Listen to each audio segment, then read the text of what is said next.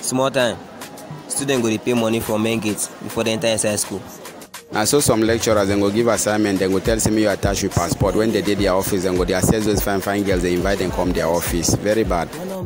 you don see mr okoro dat man wey get head like pikas dat day i enter your office make i go submit assignment.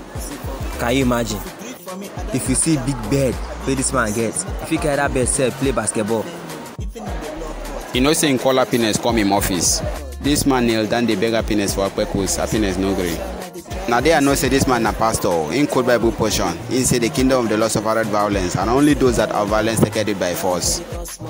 Like play like play. You know say him carry am knack for ground disorganize the girl differentiate everything.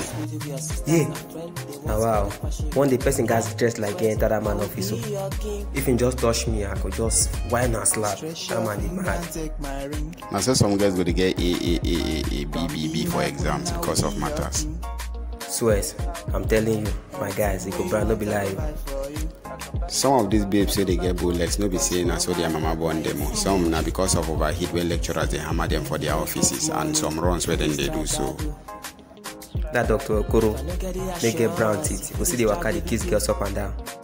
na so last semester some girls carry their gbekos carry dey play rough play one lecturer like that the lecturer collect their money all finish at the end they get f f f f. chai my god this one loud o.